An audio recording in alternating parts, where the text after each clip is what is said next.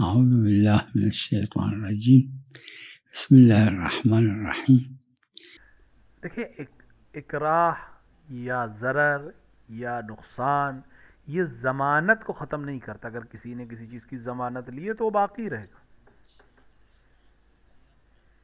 اگر کوئی انسان کسی شخص کو کوئی چیز دیتا ہے تو وہ ضامن ہے۔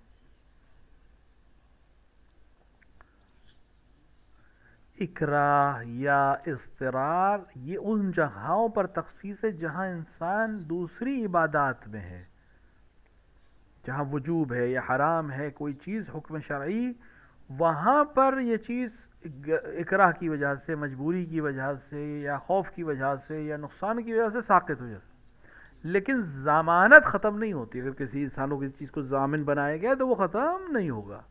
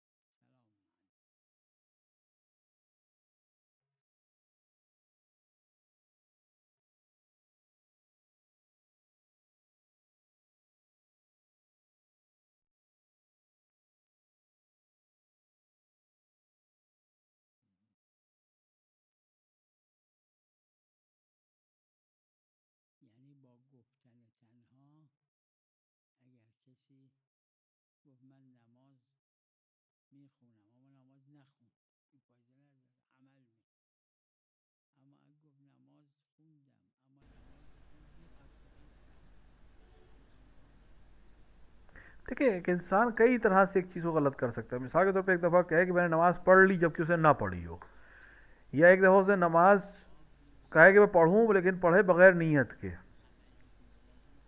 یا مثلا نماز پڑھے، قربت اللہ پڑھے، لیکن عمل جو اس کے لیے ضروری ہے اسے بغیر وضو کے پڑھے یا بغیر طہارت کے پڑھے۔ یہ سب غلط ہے۔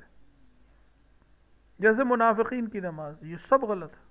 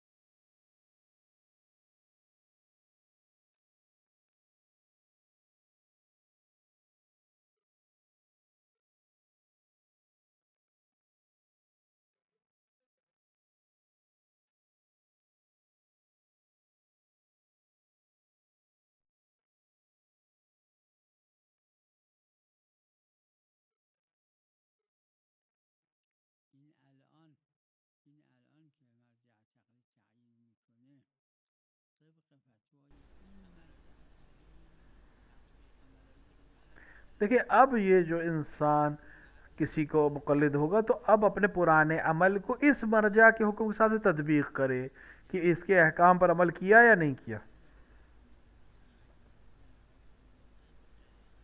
کیونکہ یہ اختلافی ہے علماء کے درمیان کہ اگر کوئی شخص مثال کے طور پر کوئی عمل انجام دے جو ہے بغیر تقلید کے تو اس وقت کس جس مرجع کی تقلید کرنی چاہیے تھی؟ اس کے حکم کے مطابق اگر صحیح کیا ہے تو صحیح ہے عمل۔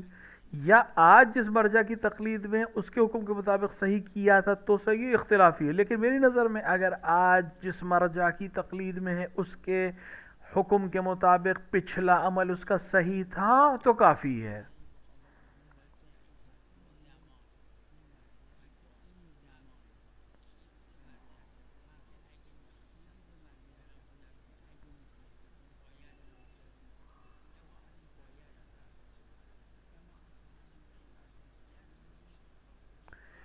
بعض علماء کہنا ہے کہ بسال کے تو میں پچاس سال پہلے اس نے ایک عمل انجام دیا تقلید نہیں کری تھی اس وقت۔ آج ایک مشتحد کی تقلید کر رہا ہے۔ تو اگر آج اس وقت جس مرجع کی تقلید تھی یعنی پوری دنیا کس کی تقلید کرتی تھی، اس کے حساب سے عمل صحیح ہے تو صحیح، ورنہ نہیں۔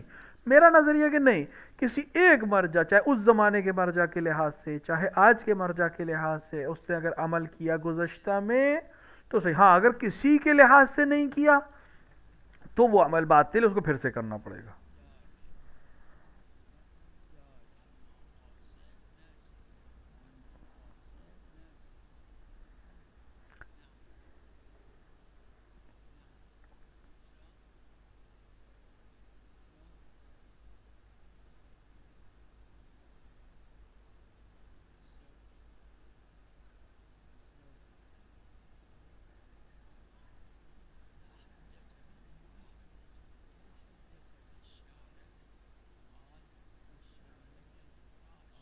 دیکھیں اس حجت نہیں ہے۔ شارع نے حکم کیا الولد للفراش یعنی جس کی زوجیت میں ہے، اولاد اسی کے حکم میں آئے گی۔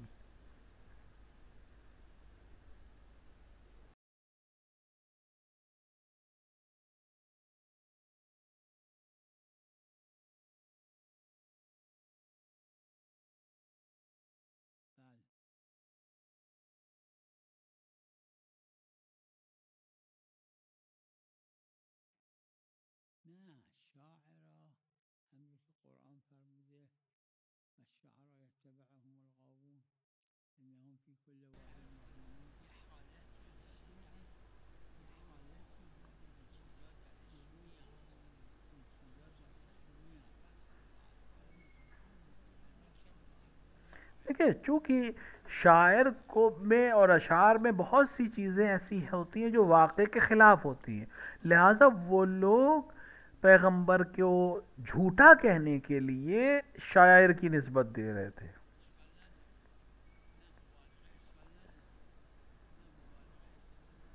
مبالغے میں کوئی حرج نہیں ہے۔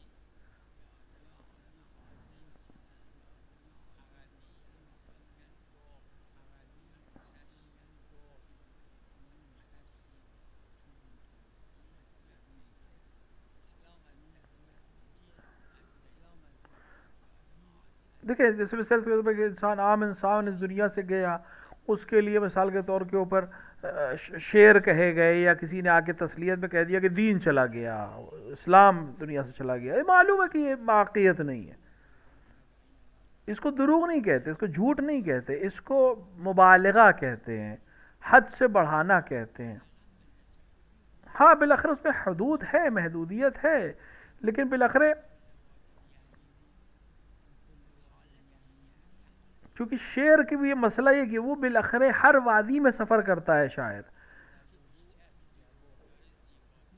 کیونکہ شعر میں اس طرح کے جو زیادہ تر خلاف واقع وہ زیادہ خوبصورت شعر مانا جاتا ہے۔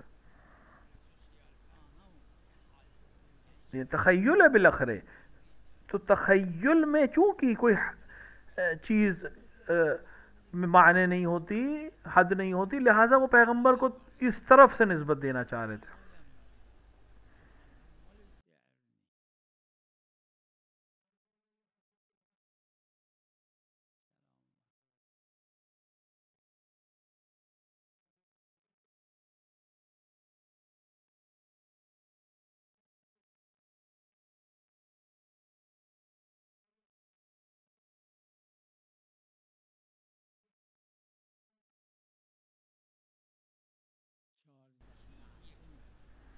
دیکھیے چودہ معصوم ہر چیز میں برابر ہے۔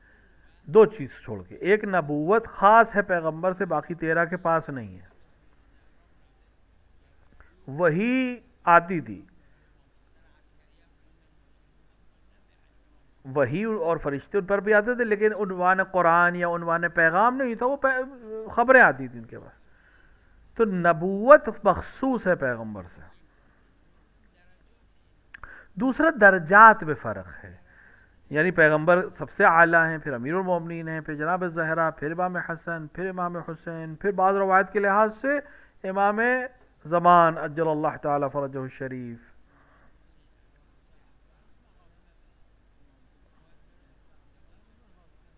کیونکہ روایت میں کہ امام ومان رضی اللہ تعالیٰ فرج شریف اپنے باقی اجداد سے افضل ہیں امام حسین کے بعد۔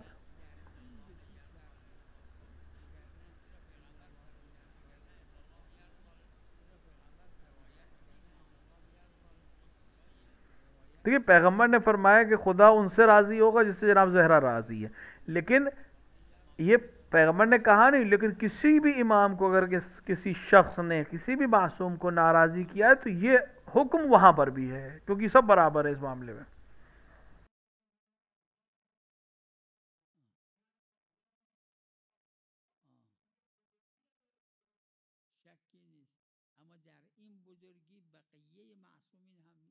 دیکھیں اگر کوئی امام صادق علیہ السلۃ والسلام کو نقصان پہنچائے پریشان کیا، وہ پیغمبر کو پریشان نہیں کر رہی، بالکل اسی حکم میں۔ بس دو فرق ہے ظاہر، ایک نبوت جو پیغمبر سے مخصوص ہے، باقی تیرہ کے پاس نہیں ہے۔ ایک مسئلہ ان کے مقامات کا ہے کہ پیغمبر کا مقام اور دیگر آئمہ کے میں فرق ہے، ہر ہر ایک کسی طرح فرق ہے مقام۔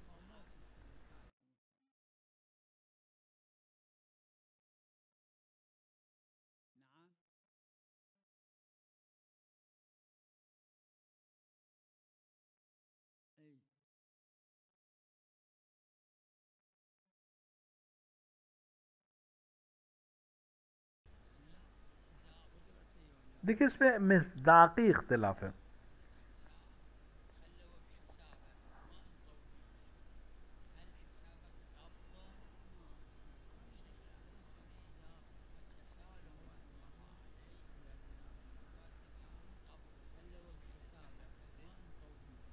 آپ حساب کو دیکھیں۔ دیکھیں اگر آپ کے پاس ایک آپس اگر کوئی چیز آپ کے ہاتھ میں ہے، کوئی چیز آپ کی جیب میں، تو وہ آپ کی ہے۔ قبض عرف میں یعنی حساب آپ کے پاس ہے تو یہ آپ کا ہے۔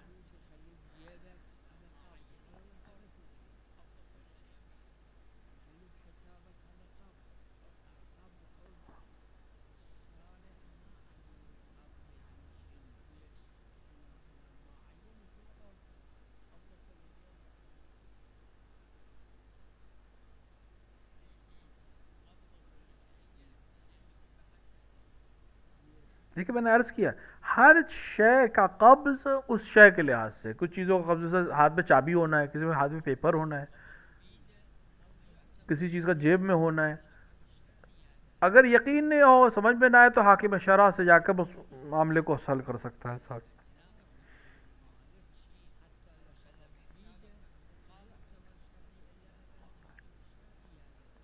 عرف مثال کے، آپ کے آپ کے اکاؤنٹ میں کچھ پیسے پڑے تو یہ قبض ہے، آپ کے پاس ہے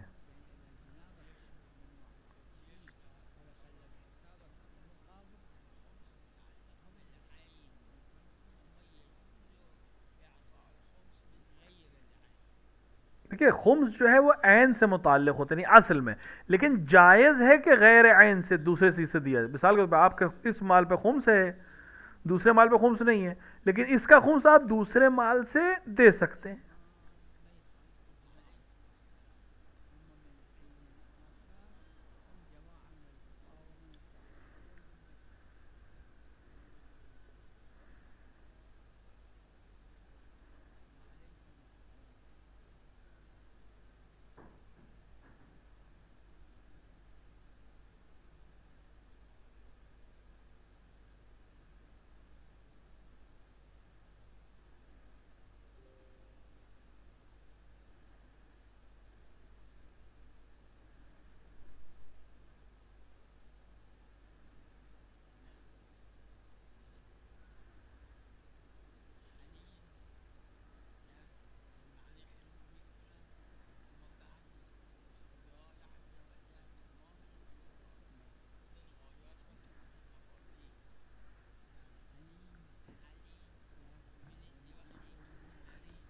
دیکھیں کبھی کبھی کچھ چیزیں دوسروں کے لیے استعمال ہوتی ہیں، لیکن اصل وہ دیکھیں، ہیلپ الگ چیز ہے، صبر الگ چیز ہے۔ مثال کے طور پہ ایک انسان مریض ہے، بیمار ہے، تکلیف میں صبر کرتا ہے، یہ صبر ہے، اس کو حلم نہیں کہتے۔ حلم وہاں پر ہے، جب انسان کوئی کسی کو مثال کے طور پہ برا کہے، بھلا برا بھلا کہے، یہ انسان جواب دے سکتا ہے، نہیں دیتا ہے۔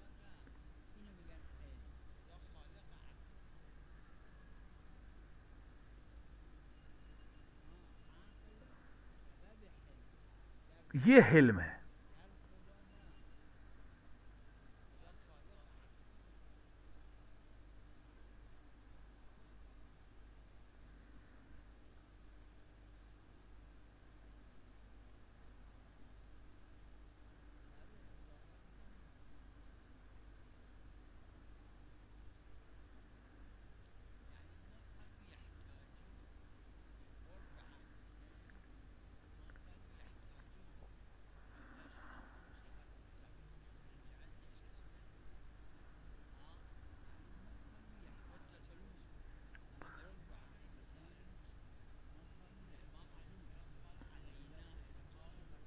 امام نے فرمایا کہ ہم اصول بیان کریں گے۔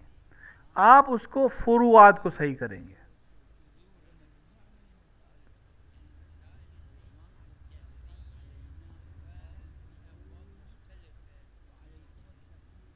چونکہ مسائل الگ الگ ابواب میں ہیں، ایک اصول ہے، وہ کئی باب میں استعمال ہو سکتا ہے۔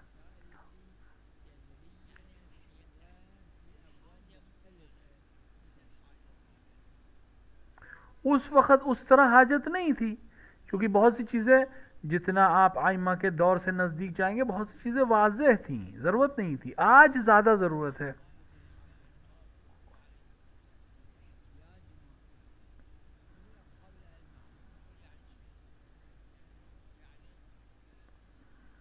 امام نے فرمایا کہ اصول ہم بیان کریں گے، آپ فروغ کو پر تطبیق دیں گے۔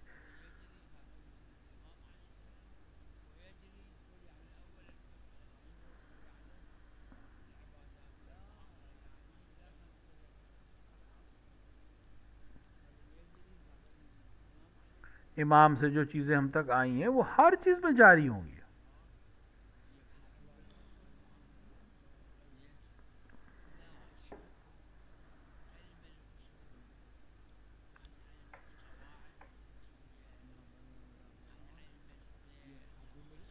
دیکھیں، علم اصول اور علم قواعد فقہی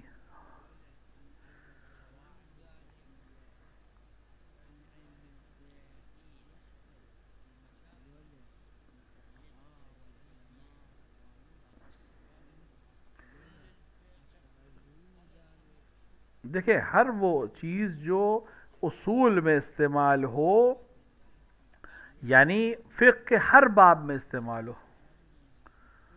اس کو کہتے ہیں اصول فقہ۔ کچھ چیزیں ایسی ہیں جو کچھ باب میں استعمال ہوتی ہیں، کچھ بھی نہیں ہوتا۔ یہ قواعد فقہی کہلاتے ہیں، جو فقہ کے بابوں میں استعمال ہوتے ہیں لیکن ہر باب میں استعمال نہیں ہوتے۔ کچھ چیزیں ایسی ہیں جو فقہ کے ہر باب میں استعمال ہوتی ہیں۔ تو مختلف معاملات ہیں مثل حج میں ہو یا عبادات میں ہو یا معاملات میں ہو، کچھ چیزیں ایسی ہوں گی ہر جگہ استعمال ہوگی وہ اصول فقہ ہیں۔ کچھ چیزیں ایسی ہیں جو فقہ کے کسی خاص باب میں استعمال ہوں گی، وہ قواعد فقہی ہیں۔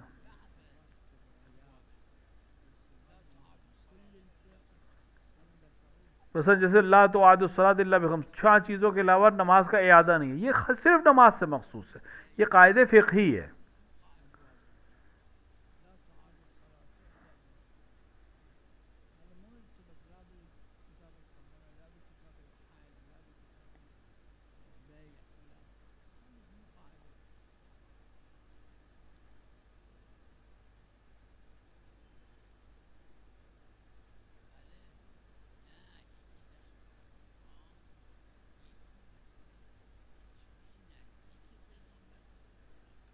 دیکھیے، ایک تو زبان کے تانے، دوسرا یہ کہ خود پیغمبر کے نزدیکی رشتہ دار پیغمبر کے مخالف تھے۔ چچا ہے پیغمبر کا ابو لہب، لیکن پیغمبر کے خلاف ہے۔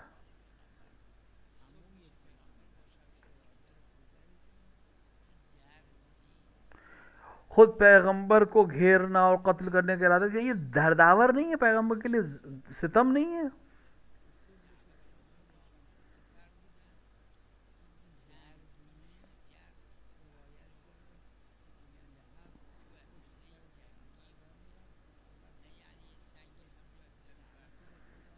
دیکھیں، یہ جو روایات میں ہے کہ پیغمبر کو پتھر مارتے تھے، یہ عام پتھر نہیں اٹھا کے زمین سے اٹھا کے مارتے تھے، یہ والے پتھر مارتے تھے جو جنگوں میں استعمال ہوتے یعنی اس میں تیز دھار والے پتھر ہوتے جو انسانوں کو قتل کر دیتے تھے۔ اس اس طرح کے پتھروں سے پیغمبر کو مارتے تھے۔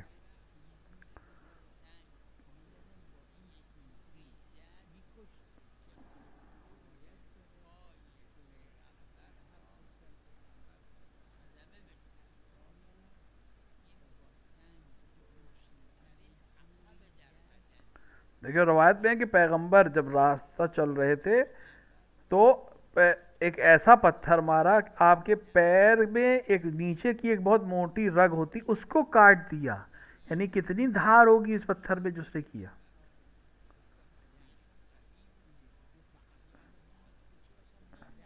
کیونکہ پیغمبر مضبوط تھے جسمانی لحاظ سے، لہٰذا اس درد سے اور پریشانی سے نجات پا گئے اپنے آپ کو صبر۔ عام انسان تو شاید مر جاتا وہ کون تھے یہ لوگ؟ پیغمبر کے جان پہچان کے لوگ، پیغمبر کے نزدیک ترین لوگ۔ اگر آپ ان تمام چیزوں کو ساتھ مل لیں تو انسان کے اوپر کتنا رنج و علم رہا ہوگا۔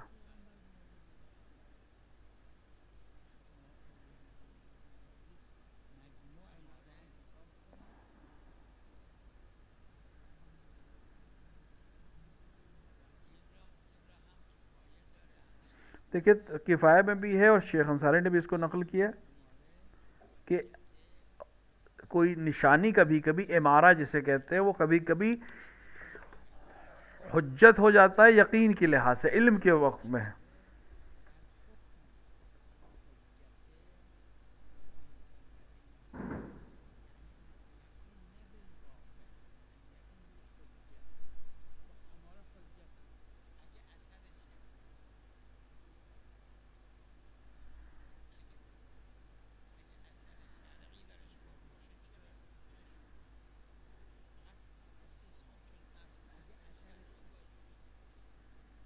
یہ استصحاب یا کسی بھی حصول کے لیے کوئی اصل شرعی ہونا ضروری ہے۔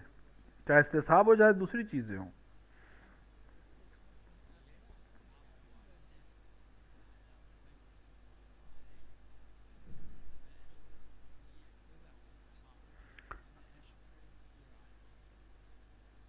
بہار میں اللہ مجلسی نے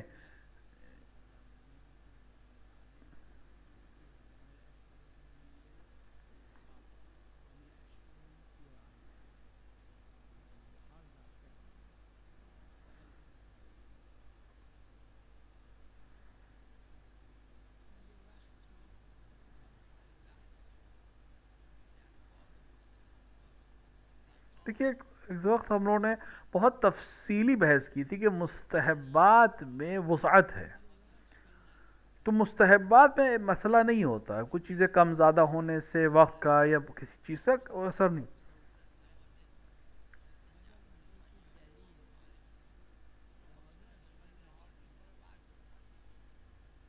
مثلا انسان چار رکعت نماز جعفر تیار میں سے دو رکعت پڑھتا ہے، پھر جا کے تھک جاتا ہے، آرام کر لیتا ہے یا کھانا کھانے چلا جاتا ہے، پھر لوٹ ہے پھر دو رکعت پڑتا ہے۔ کوئی حرج نہیں، مستحبات میں وسعت ہے۔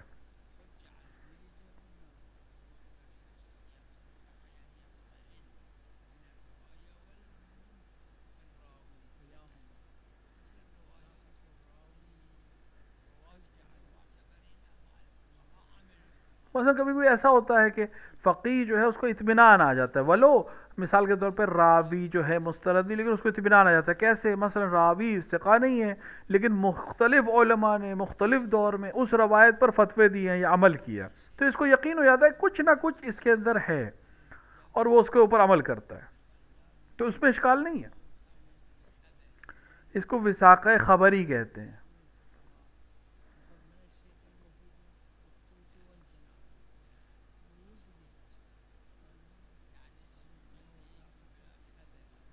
سوق المسلمین سے مطلب اسلامی مملکت میں جو بازار ہو۔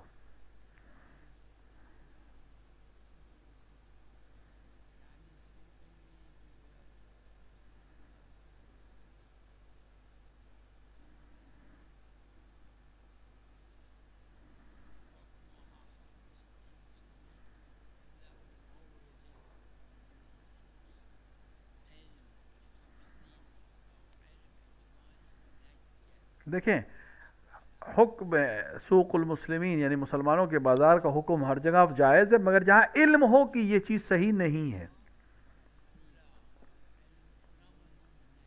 جہاں علم ہو جائے کہ یہ غلط ہے، ولو سوق مسلم ہو، علم علم آ کر اس حکم کو ختم کر دیتا ہے۔ یعنی علم تفصیلی ہو انسان کے پاس۔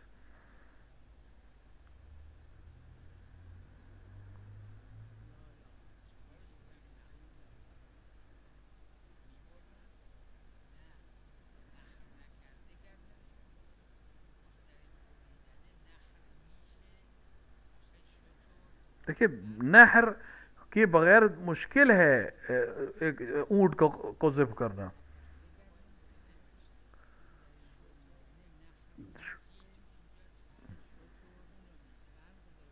دیکھیے، حکم جو ہے زبی ہے کا اونٹ کے لیے وہ مختلف ہے گوس فن سے اور دیگر حیوانات سے، کیونکہ باقی حیوانات کی گردن کو جب آپ ذبح کرتے تو چار رگے کٹ جانا کافی ہے لیکن اونٹ میں ایک ایک گہرائی ہوتی ہے جس کو کٹنا ضروری ہے۔ اب ہمیں معلوم ہے کہ اس کو صحیح سے کاٹا گیا کافی وہ علت نہیں جانتے تو سوکھ مسلم کے حکم سے ہم اس کو طاہر مانیں گے۔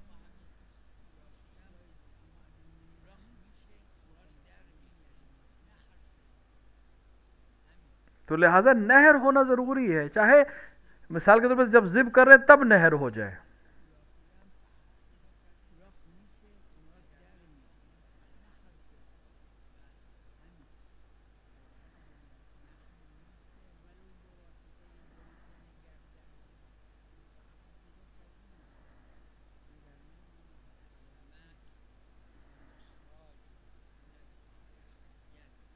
دیکھیے، مچھلی کا ذبیحہ یہ ہے کہ اسے پانی سے زندہ نکال لیا جائے، چاہے کوئی نکالے، بس زندہ نکالے، چاہے مسلمان ہو یا نہ ہو۔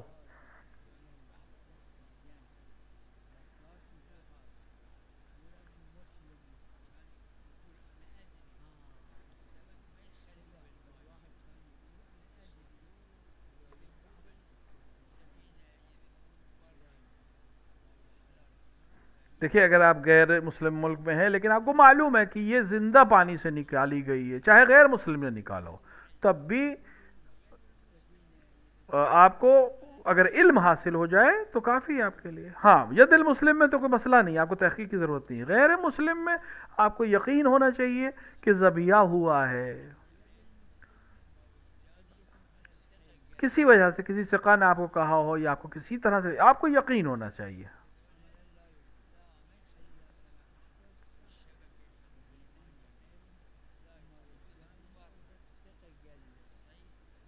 یعنی جو مچھلی کا شکار ہے، وہ اس طرح سے ہے کہ اس کو زندہ نکالا گیا، بعد میں کشتی میں یا کسی اور چیز میں اس کو وہ مری۔ یہ حلال ہے وہ لوگ کسی نے نکالا ہو۔ لیکن